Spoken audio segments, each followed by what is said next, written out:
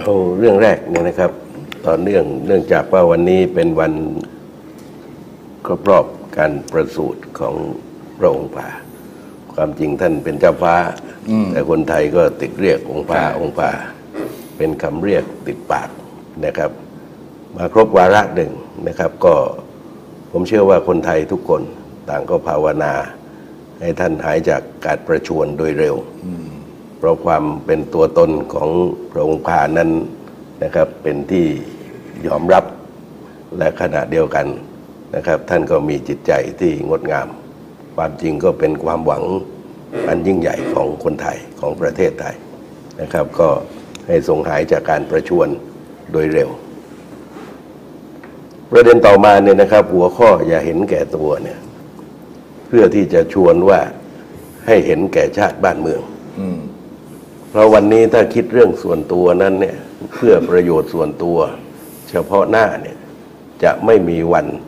ที่จะแก้ไขปัญหาชาติกันได้เลย ในทุกๆมิติ ในทางการเมืองเนี่ยมันมีอะไรที่เป็นภาพเชิงซ้อนกันทั้งสิ้น เอาเรื่องแรกก่อนนะครับ กรณีหมูเถื่อนเนี่ย ซึ่งพยายามจะปั่น จะลากผมไปให้ได้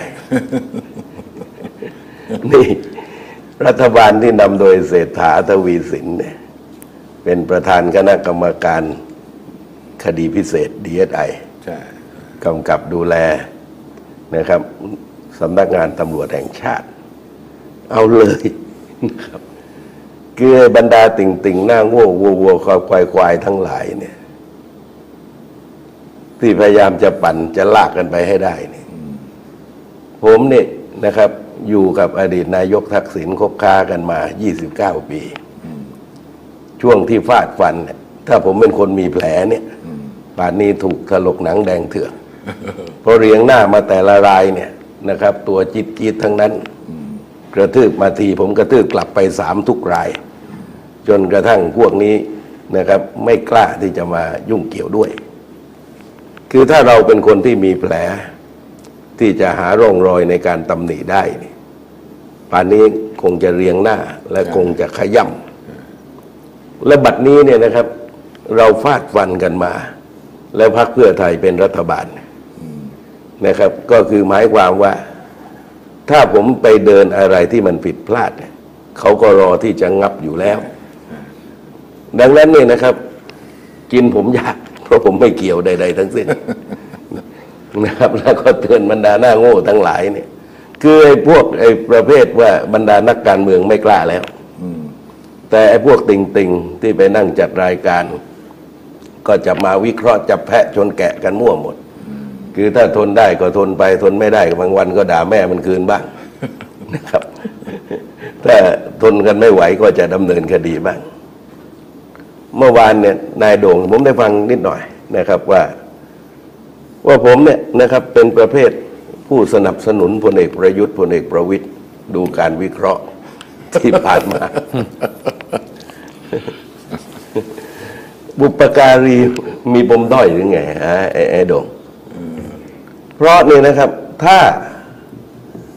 ผมสนับสนุนพลเอกประยุทธ์พลเอกประวิตย์เนี่ย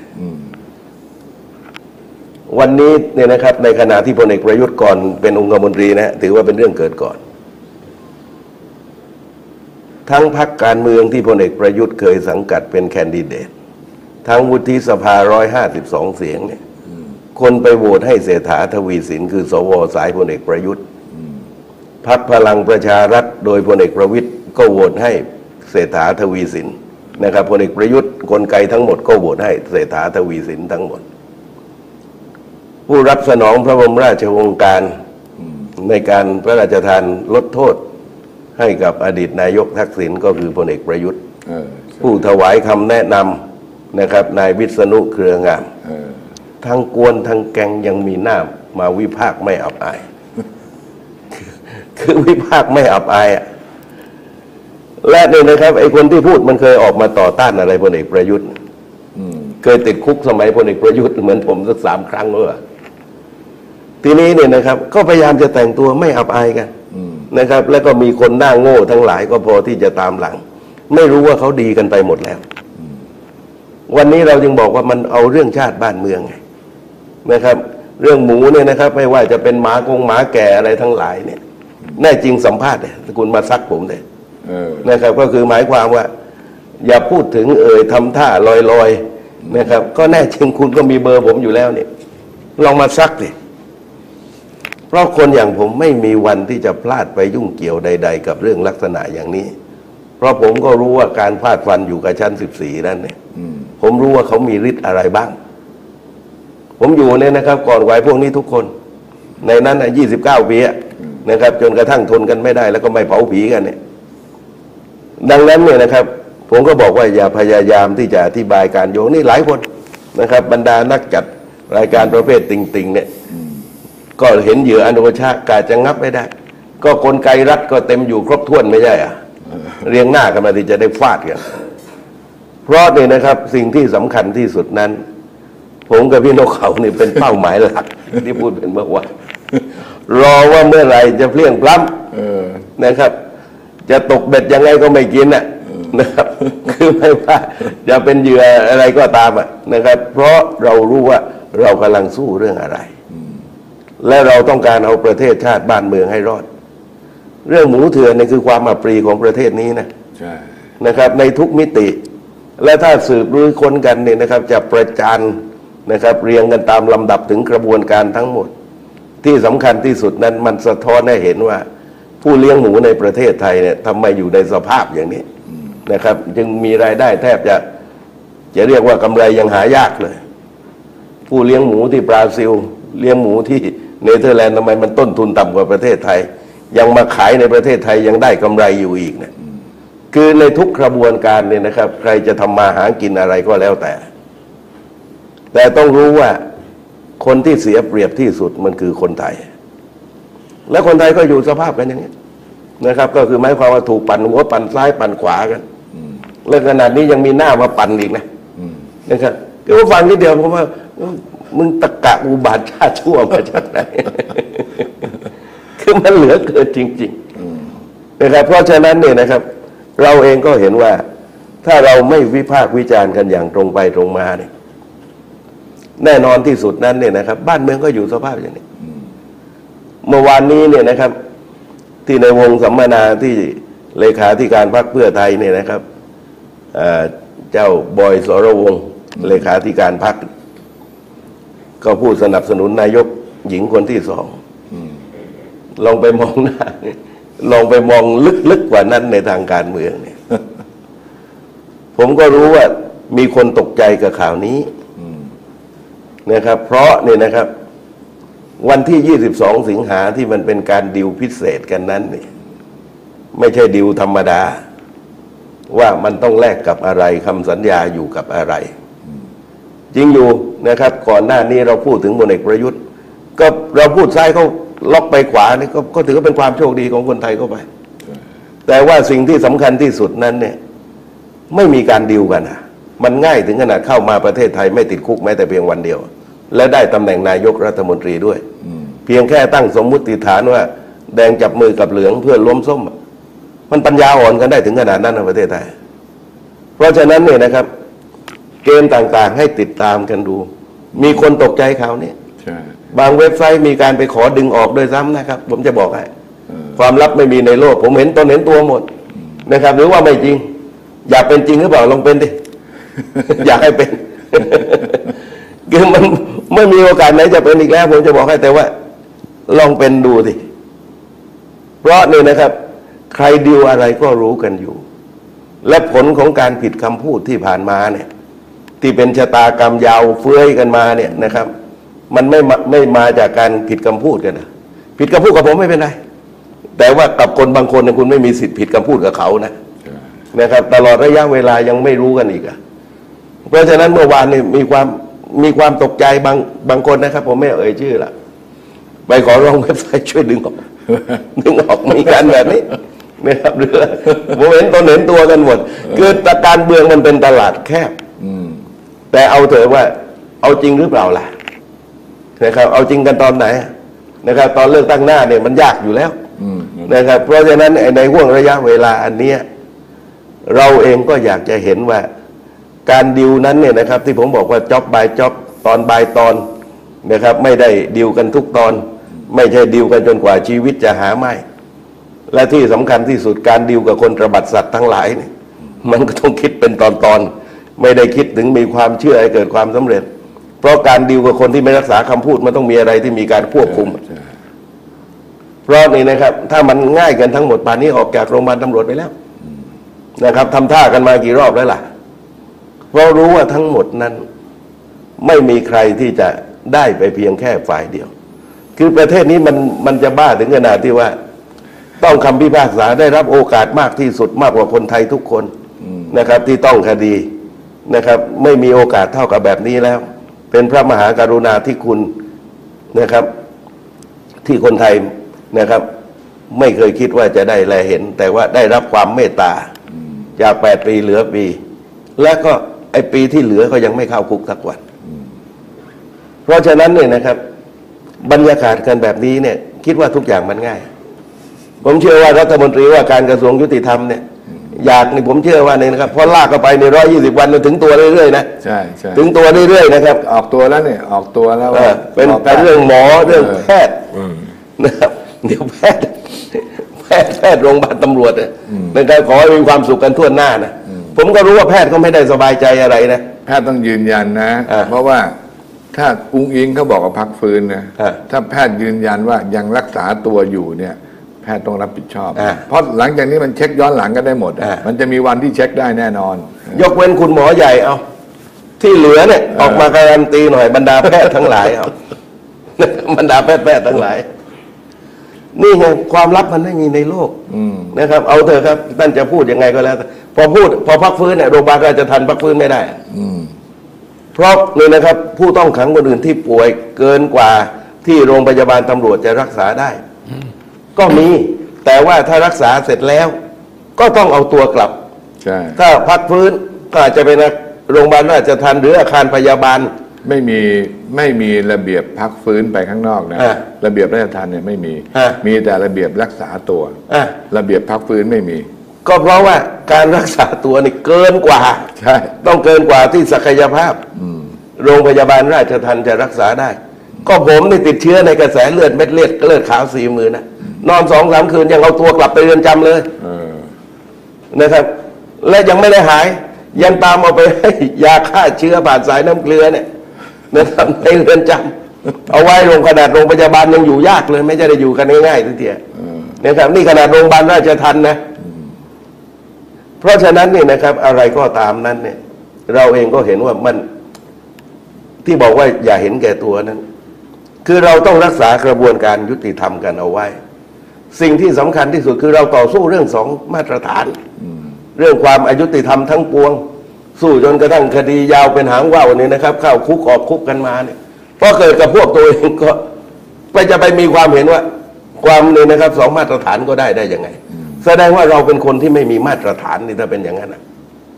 ดังนั้นเนี่ยนะครับ ถ้าต้องการให้บ้านเมืองเนี่ย ยิ่งคนมีสถานะเนี่ยจะต้องสร้างเป็นแบบอย่างนะใช่ เราเองก็เห็นประวัติศาสตร์ผู้นำไม่ว่าอยู่ฐานะไหนเขาจะยืนยืนเด่นนะครับ และแสดงความรับผิดชอบ เมื่อได้รับโอกาสถึงขนาดนี้ ความรับผิดชอบนั้นเป็นเรื่องที่ยิ่งใหญ่มาก เพราะเนี่ยนะครับ เมื่อได้รับโอกาสเหลือหนึ่งปีนั้น จะต้องไม่มีอะไรที่จะสร้างความระคายเคืองใช่นี่เป็นเป็นเรื่องใหญ่ แต่ว่านะครับยิ่งการอธิบายต่างๆเนี่ยยิ่งพักฟื้นเนี่ยยิ่งมัดเข้าไปใหญ่อืม คุณหมอโรงพยาบาลตำรวจสบายดีกันทุกคนนะผมก็รู้ว่ามีคนไม่สบายใจเป็นผมจำนวนจะมากดูว่ารอบเนี้ยใครจะเป็นคนลงชื่อ ใครหมอคนไหนจะให้ความเห็น ว่ายังต้องรักษาตัวอยู่อืมเพราะวันนั้นที่ไปโรงพยาบาลตำรวจ หมอบอกว่าหมอไม่ได้ให้ความเห็น ราชทันจะเป็นคนให้ความเห็นอะมีเกียงกันอยู่นะ รอบนี้ร้อยี่สิบวันเนี่ยเดี๋ยวจะดูอะว่าใครจะให้ความเห็น และอย่านึกว่าทำไม่ได้นะ เดี๋ยวกำลังดูช่องใช้อำนาจศาลเรียกเอกสารอยู่ เชื่อผมเนี่ยติดคุกกันเป็นพวงเนี่ยผมเห็นมาเยอะต่อเยอะแล้ว เออ คือในคุกเนี่ยมีทุกระดับประทับใจนะ อืม คืออย่างไรก็ตามเนี่ยนะครับ อะไรที่มันไม่ถูกต้องเนี่ย มันก็ไม่ถูกต้องมันยังค่ำอะอะไรเนี่ยนะครับ ที่มันผิดมันก็คือผิด เราจะไปเปลี่ยนผิดให้เป็นถูกมันได้ยังไงอะความจริงได้รับโอกาสมากที่สุดแล้ว คนอื่นก็ไม่เคยได้รับโอกาสกันแบบนี้เนี่ย และเนี่ยนะครับ เมื่อได้รับโอกาสแล้วยังไม่สำนึกโดยเนื้อแท้ผมไม่ได้ครับ ผมบอกชัดเจนมาตั้งแต่ต้นว่าถ้าป่วยจริงนะครับ ป่วยจนอาการเนี่ยนะครับ หนักแสนหนักคนไม่มีคนไทยที่ไหนก็ใจไม้ไส้ระกำหรอกนะครับ ไม่มีแล้วครับ แต่ว่าณวันนี้เนี่ยนะครับไอ้ความเหลื่อมล้ำต่าง ๆ โดยเฉพาะเรื่องความยุติธรรมเนี่ย ที่ผมบอกว่ามันเป็นบาดแผลใหญ่ของสังคมไทยนั่นเนี่ยเมื่อมันมีโอกาสเนี่ยนะครับ ที่จะ ไม่ให้มันถลำลึกกันเข้าไปนั้นกลับก็ไม่ให้ความสนใจใดๆนะครับ เพราะฉะนั้นเนี่ยไอ้พลาดฟันกันแบบนี้เนี่ย อย่างที่ผมบอกว่าถ้าเราไปเพี้ยงพล้ำเรื่องอื่นมันถลกหนังแดงเถือกอะมันจ้องทุกวันชอบชอบทุกวันอยู่แล้วนะครับว่าเมื่อไหรจะพลาด แต่เราบอกว่าทั้งหมดนั้นเนี่ยนะครับ อะไรที่มันเป็นเรื่องที่ควรจะกระทำก็ควรที่จะกระทำ ไม่ใช่ว่าเรื่องพึงกระทำไม่กระทำและไปกระทำในเรื่องที่ไม่พึงกระทำเรื่องกรณีตำรวจเนี่ยนะครับ อย่างไรก็ตามอะใครจะพูดอย่างไรก็ช่างอะอืมรู้กันทั้งนั้นอะไม่เชื่อก็ถามจ่าเฉยดูเอาเราอยู่กันในโลกแห่งความเป็นแบบนี้กันจริง ๆ เพียงแต่ว่าบ้านเมืองที่ผมบอกว่าต้นทางเนี่ยถ้าต้นทางมันไม่สุจริตสักอย่าง ปลายทางมันไม่มีวันที่จะ สุจริตได้นะผมนี่เห็นมามากมายนะครับ และผมเองก็นะครับต่อสู้เรื่องนะครับ เจ้าหน้าที่ตำรวจที่ไม่ได้รับความยุติธรรมในอดีตมากมายนะครับ ไม่เคยไปยุ่งเกี่ยว เพราะว่าถ้าเราไปคิดว่าจุดสตาร์ตตั้งต้นเขาเนี่ยเป็นเรื่องที่เขาต้องซื้อหากันแล้วเนี่ยปลายทางเขาก็ต้องไปลงกับประชาชนใช่เราก็บอกว่าต้นทางที่สำคัญที่สุดนั้นนะครับ คือต้อง ตำแหน่งหน้าที่มันอยู่ที่ผลงาน มันไม่ใช่ต้นทุนอืมมันไม่ใช่เป็นการลงทุน ทั้งหมดนั้นเนี่ยนะครับ ก็เป็นเรื่องที่ต้องพิสูจน์กัน ใครจะพูดอย่างไรก็ได้นะครับ จะหักล้างยังไงก็ก็ว่ากันไปเถอะ ไม่มีปัญหา แต่ว่ากินกับปากอยากอยู่กับท้องก็รู้กันหมดอะว่าโดยเนื้อแท้เป็นยังไง ก็พูดกันไปเถอะนะครับจะให้เชื่อก็ได้ คือในวงการนี้เนี่ยนะครับ ไม่มีอะไรที่มันเป็นความลับหรอกอืม นะครับ ตรงนู้นยังไงตรงนี้ยังไงตรงนู้นยังไงมันก็คุยกันทุกโต๊ะอะทุกโต๊ะมันได้ยินกันหมดโต๊ะอะร้านมันรู้กันหมดอะเออมันมันมันได้ยินกันหมด เราต้องการให้บ้านเมืองนี้เนี่ยนะครับ ผู้พิทักษ์สันติราษฎร์เขาจะได้มีความงดงาม มีความสง่างามนะครับ กันตามลำดับอย่างที่พึงจะเป็นนะครับ เอาเถอะครับใครจะอธิบายอย่างไรก็ก็ว่ากัน ในเรื่องของความหวังนะครับความหวัง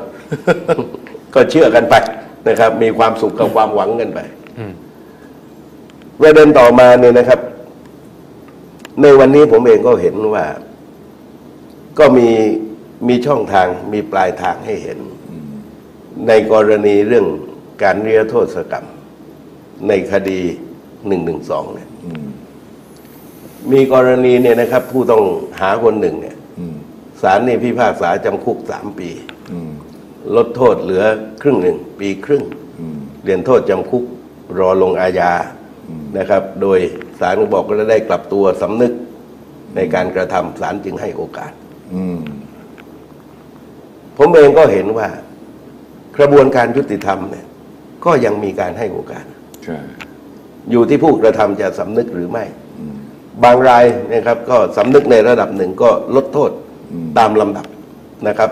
อย่างน้อยสองรายมีการเปรียบเทียบกันในวันนี้ ดังนั้นเนี่ยนะครับสิ่งที่สำคัญที่สุดก็คือว่า เรื่องการเนี้ยโทษกรรมอะแน่นอนที่สุดนั้น ถ้าเราต้องการความผาสุกอย่าได้กลัวว่าเขาไปกระทำซ้ำก็เขียนกันเอาไว้ดิอืมกลัวอะไรก็เขียนกันกันเอาไว้ แต่เราจะลดความขัดแย้ง และสร้างความแข็งแรงให้กับสถาบันพระมหากษัตริย์อืมเพราะเจตนารมณ์ของสถาบันไม่ประสงค์จะลงโทษใครใช่ทั้งสองรัชกาล ในช่วงที่ผ่านมา วันนี้ก็เชกเช่นเดียวกัน เห็นคำพิพากษาของศาลแบบนี้อืมความเป็นจริงเนี่ยนะครับ ถ้าเราได้อ่านอย่างเข้าใจแล้วเนี่ย จะเห็นว่าสังคมไทยล้วนแต่มีช่องทางทั้งสิ้นอืมนะครับ มีทางออกให้กันทั้งสิ้น ไม่มีการปิดประตูใส่ชนิดที่นะครับ ที่ไม่แง้มประตูนะครับ ปิดโอกาสกันทุกชนิด แต่ชี้ให้เห็นว่าสังคมนี้ยังมีช่องทางยังมีโอกาสกันอยู่ แต่ว่า ถ้าคดีนี้น่าจะได้อ่านคำพิพากษากันโดยละเอียดนะ แล้วก็ถ้าถ้าเป็นช่องทางที่จะทำให้ได้รอลงอาญาเนี่ย ผมคิดว่าพวกที่พวกที่ถูกฟ้องหนึ่งหนึ่งสองทั้งหลายเนี่ย ควรจะเอาไปดู เพราะว่าคือทีมที่ถูกฟ้องหนึ่งหนึ่งสองเนี่ย ทุกคนมีทนายความอ่าทุกคนมี ที่ปรึกษากฎหมาย หรือบางคนก็เรียนกฎหมาย บางเรื่องบางราวเนี่ย อ่านดูโดยไม่อคติครับเออไม่อคติ แล้วก็ดูคำจำกัดความของมาตราหนึ่งหนึ่งสองครับดูความหมายดูบริบทดูพฤติกรรมการกระทำบวกกับเจตนาแล้วเนี่ย ไม่ต้องให้ศาลชี้หรอกตอบตัวเองได้ ใช่ ตอบตัวเองได้อยู่แล้วว่า เข้าข่ายหรือไม่เข้าข่าย แล้วก็ดูว่าอันเนี้ยเป็นช่องทางหนึ่งช่องทางหนึ่งคือว่าที่ เป็นแนวคำพิพากษา เออเป็นแนวคำพิพากษาแล้วมันมันคือจะบอกว่า อย่าตอบว่าไม่ผิด อย่าตอบว่าไม่มีเจตนา บางอันเนี่ย มันชัดเจนในตัวกันเองอยู่แล้ว ควรจะต้องไปศึกษาพักก้าวไกลก็ถ้าจะทำเรื่องนี้ก็ อันนี้ก็มีทีมกฎหมายอยู่แล้ว ก็ไปดู เพราะว่าบางอันเนี่ย มันเห็นชัดๆอะมันเห็นชัดๆ แล้วก็เทียบคำพิพากษาดีกา แต่ก่อนๆมาเนี่ย มันก็ไปดูอย่างคดีพี่ตู่ยกฟ้องใช่ไหมก็คดีสั่งพี่ไม่ฟ้องเด็ดขาดเออ พี่สนธิเขาก็ยกฟ้องครับ ผมว่าเอาอันนั้นเนี่ยมาดูมาดูกัน แล้วก็ให้คำแนะนำให้คำแนะนำแล้วก็ผู้ที่ถูกคดีที่จะตัดสินใจ ว่าอันเนี้ยมันมัน มันชัดเจน ชัดเจนก็ไปเลือกช่องทางของวันนี้ที่ศาลออกมาเป็นตัวอย่าง หรือว่าถ้าชัดเจนแล้วแต่ยังอยากจะอยากจะสู้ ถ้าอยากจะสู้ต่อก็ อันนั้นก็ไม่ต้องไปขอเรื่องนิรโทษกรรม มันก็จะได้แบ่งเป็นส่วนๆแล้วมันก็เดินกันไปเเลือกเอาว่าจะเอาแบบไหน คือสภาพเนี่ยคือพวกเรามองเหมือนมองคนเหมือนเรื่องเล่านานมานานกาเลว่า มีผู้หญิงสองคนอ้างว่าเป็นแม่ของเอ่อเด็กชายคนหนึ่งเนี่ยอืมเจ้าเมืองก็ไม่รู้จะตัดสินอย่างไร เพราะต่างคนต่างอ้างด้วยกันทั้งคู่ แล้วก็เด็กชายยังเล็กอยู่ ไม่สามารถชี้ใครเป็นแม่ได้ เพราะตัวเองยังเล็กอยู่ เจ้าเมืองก็รู้จะทำยังไงตัดตัดสินใจว่า เดี๋ยวก็จะรู้เองก็ใช้วิธีว่าจะฆ่าเด็กซิงเสียอืมก็มีผู้หญิงหนึ่งในสองนั่นบอกว่า ฉันไม่ใช่แม่แม่เขานะอืมนะครับ อีกคนหนึ่งไม่แสดง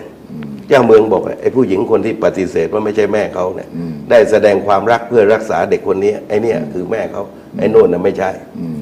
ในทางสังคมการเมืองนะครับสังคมไทยก็เช่นเช่นเดียวกัน เราพยายามที่จะเสนอทางออกนะครับ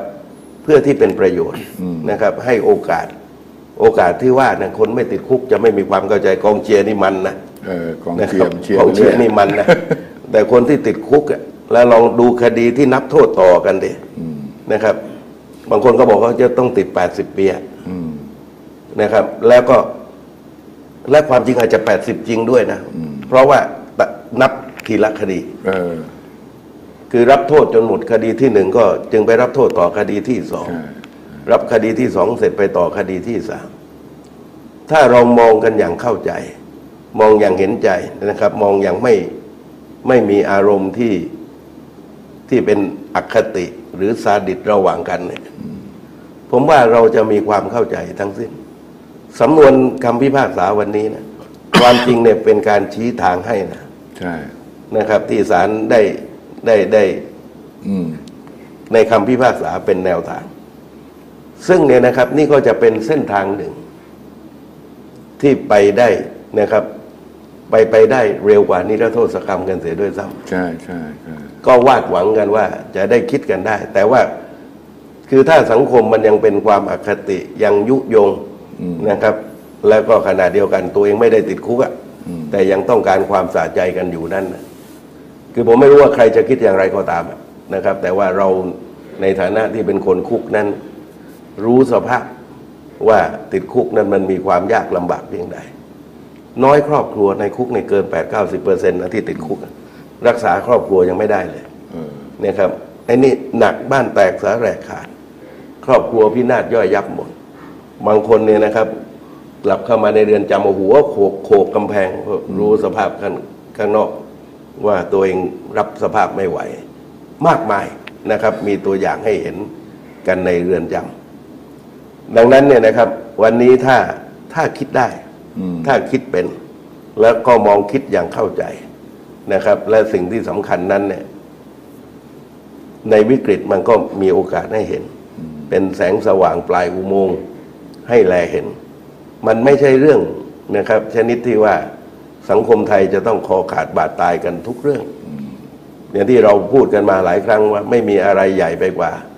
การฆ่ากันระหว่างกองทัพของไทยของประเทศไทยกับ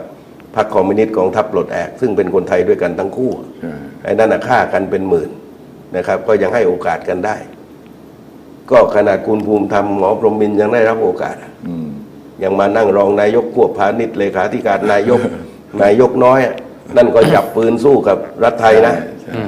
นะครับ ยังมีโอกาสเลยนะครับ เพราะฉะนั้นพวกนี้เนี่ยนะครับ ผมเองก็เห็นว่าณขนาดนี้มันไม่ควรที่จะปั่นให้เกิดความขัดแย้งขึ้นมาใหม่ เราต้องรีบยุติความขัดแย้งภายใน และความจริงเนี่ยนะครับรัฐบาลที่ต้นทุนต้นทุนต่ำอย่างที่ผมบอกว่า การกระทำที่สูงที่ไม่ต้องไม่ต้องไปตราเป็นพระราชบัญญัติเงินกู้อืมว่าบ้านเมืองจะเกิดวิกฤตหรือไม่ แต่ว่าเป็นการที่ให้แก่กันนะครับ อย่างที่ผู้นำในอดีตที่เขายิ่งใหญ่ทั้งหลายเนี่ยเขากล้าที่จะให้กัน โดยไม่กลัวว่าคนที่ตัวเองให้มากระทำตัวเองใช่ต่างกรรมต่างวาระมากมาย ก็เป็นแนวทางให้เห็นกันอยู่ เพียงแต่ว่าจิตใจจะใหญ่พอหรือไม่ นี่เป็นเรื่องไงเป็นเรื่องหัวใจอืมและไม่ต้องศึกษาอะไรกันมากมาย เพราะศึกษากันไม่รู้กี่ชุดละใช่นะครับ เอาเรื่องผลการศึกษาต่าง ๆ เนี่ยนะครับ มาไล่เรียงกันก็รู้กันอยู่ถามก็มีเพียงอย่างเดียวว่า จะทำหรือไม่ทำเท่านั้นเองจะต้องการยุติความขัดแย้งนะครับ ทั้งความขัดแย้งเก่าความขัดแย้งใหม่นะครับ ส่วนหนทางข้างหน้าเนี่ย อย่างที่เราบอกว่าถ้าปรากฏการณ์ในพม่ามันลามมาถึงไทยอืมนะครับ หรือแม้กระทั่งสถานการณ์โลกนะครับฮามาสอิสราเอลวันไหนไม่รู้จะถึงไทยนะอืมนะครับ ในลุกรามในประเด็นโลกของมุสลิมต่างๆ และไม่นับสงครามใหญ่ก็ไม่รู้ว่าวันไหนอาจจะมาถึงไทย คือทั้งหมดนั้นเนี่ยนะครับ ถ้าเราไม่เตรียมการในเรื่องความเป็นชาติ ความรักชาติ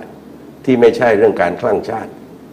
เป็นความรักด้วยความเข้าใจรับมือกับทุกสถานการณ์ และเนี่ยนะครับ และเนี่ยนะครับจะได้วางแผนที่จะรองรับไม่ว่าภัยมาแบบไหน ถ้าข้างในนี่นะครับ มีความเป็นน้ำหนึ่งใจเดียวนะอืมก็ประวัติศาสตร์ก็สอนอยู่แล้ว ว่ากรุงศรีจะไม่แตกอืมนะครับ ถ้าคนกรุงศรีไม่เปิดประตูให้กับพม่าเข้ามาเผาเมืองใช่ประวัติศาสตร์ที่เราเรียนนะครับ หรือพยายามที่จะละเลยก็ตาม แต่ได้สอนทุกสิ่งทุกอย่างกันอยู่แล้ว เพราะฉะนั้นผมเองก็มีความวาดหวังกันว่า ทุกคนจะมองคือคือประเทศเราเนี่ย ไม่ได้มีการเตรียมพร้อมเรื่องเหล่านี้เลยนะโอ้โห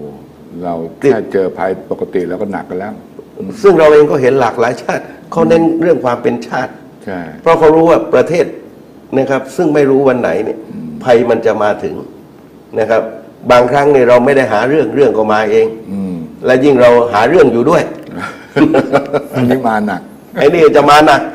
นะครับ อารมณ์แบบนี้เนี่ยที่ผมบอกว่าถ้าคิดในมิติส่วนตัวเนี่ย ก็จะมองเพียงแค่ประโยชน์ส่วนตัวไม่ไกลจากตัว ใช่ แต่ถ้าเรากลางประเทศชาติเนี่ยนะครับ ชาติศาสตร์กษัตริย์และประชาชนเนี่ยเป็นของเนี่ยนะครับที่แยกออกจากกันไม่ได้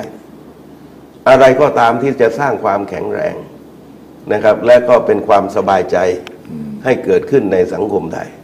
เพราะมีสถานการณ์ข้างหน้าเนี่ยไม่มีใครรู้ว่า เราจะรับมือถึงไหนได้อย่างไร ในท่ามกลางที่ประเทศเป็นแบบนี้นะอืมประเทศยังทำมาหากินเรื่องหมูเถื่อนกันอยู่เลยเออนี่นี่ไม่นับว่าวัวเถื่อนโอ้นี่ไม่รู้กี่เรื่องนะเนี่ยไอ้ไอ้อะไรนะการขอคืนภาษีที่ไม่ชอบด้วยกฎหมายไอ้ไอ้นี่โกงกันมาโดยตลอด เออโอ้หลายเรื่องมาก เสียหายกับประเทศ ก็ที่ปปชไปฟาดเนี่ยนะครับ ระดับเจ้าหน้าที่สรรพากรสองพันล้านนะอืม เจ้าหน้าที่ไม่ใหญ่ด้วยนะไอ้บิ๊กบิ๊กไม่รู้ว่าไงฮะสองพันเลยนะ ไม่ใหญ่นะผมนี่เคยไปที่จังหวัดหนึ่ง เห็นบ้านสวยจริง ๆ ริมเขาหน้าผาเป็นเรือนที่สวยผมว่าคงเป็นพวกเศรษฐีที่เนี่ยก็ถามไปบรรดาพรรคพวกที่เป็นเพราะพวกเป็นนักการเมืองท้องถิ่นที่นั่นบ้านใครเนี่ยมองหน้าผมว่าลองทายดิผมบอกน่าจะคนรวยสักคนน่ะในเนี่ยเออเออ รู้แล้วจะตกใจเราก็ยิ่งสนใจว่าใครวะเป็นเจ้าหน้าที่รังวัดที่ดินนี่สี่กรมเนี่ยกรมที่ดินเออกรมสรรพสามิตเออกรมสรรพากรกรมศุลกากร จนทั้งนั้น จนทั้งนั้นเจ้าหน้าที่เนี่ยคือคือทั้งหมดทั้งปวงคือทั้งหมดทั้งปวงเนี่ยมมันก็เห็นอยู่ตลอดนะเออ สังคมไทยเห็นแบบเนี้ยตลอดเวลา และนี่นะครับ ก็เรื่องราวเดิมๆที่เราเจอที่เราเห็น ไม่มีมาตรการป้องกันนะครับ พอมีเรื่องแล้วก็ไปตามปราบ แล้วก็สุดท้ายก็เออก็อายัดกันใช่แทบไม่ทันกันเสียด้วยซ้ำมันอยู่ในสถานการณ์กันอย่างนั้น ดังนั้นเนี่ยนะครับ เราผมเองก็เห็นว่าณวันเนี้ยนะครับ สถานการณ์มันเดินมาไกลแล้วก็บรรดาเนี่ยนะครับ ติ่งติ่งๆทั้งหลายที่กำลังปั่นน่ะนะครับ ปั่นก็คือ คือมาว่าเราก็ได้ราคาไปอะแต่ว่าเพียงแต่ว่า คือแทนที่จะคือมาหากินกับเราพูดอ่าง่ายอ่าพูดง่ายๆคือมันจับโยงมาจนได้อะซึ่งความเป็นจริงนั้นเนี่ยนะคือคนเก่งหลังเหตุการณ์เนี่ยผมเองก็เนี่ยเนี่ยเจอกันเยอะแยะคนเก่งทั้งนั้น เวลามีเรื่องไม่ว่ากรณีใดไม่เคยเห็นหัวมันอะอย่าว่าแต่เห็นหน้าเนี่ยนะครับหลังก็ไม่เห็น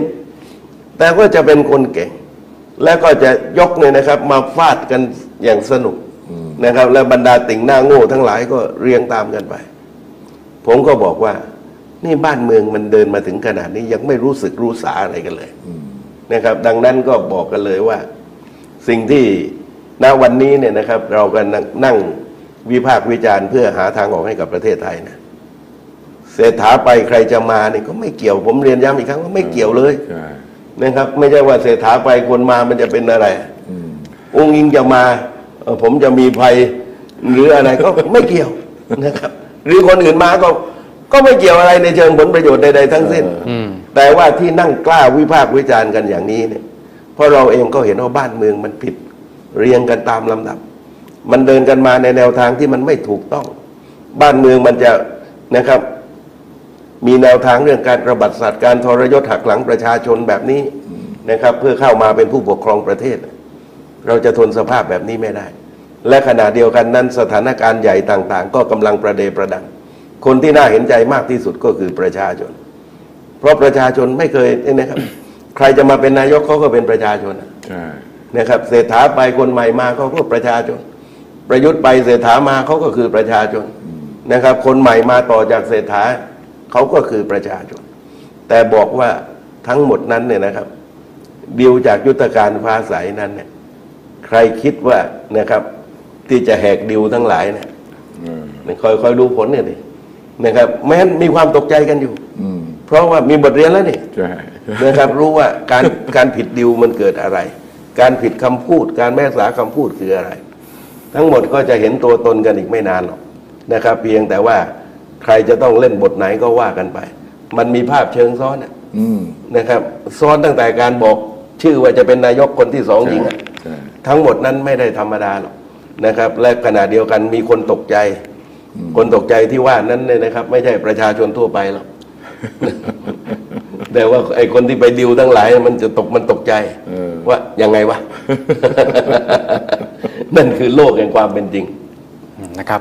วันนี้คุณผู้ชมครับก็ขอบคุณทั้งสองท่านนะครับ คุณจตุพรพรหมพันธ์และคุณนิติธรล้ำเหลือครับขอบคุณครับพี่ตู่ครับครับ สวัสดีครับขอบคุณครับพี่นกเขาครับ สวัสดีครับส วันนี้ผมธงชัยคำพิเศษและทีมงานทุกคนลาไปพร้อมกัน สวัสดีครับ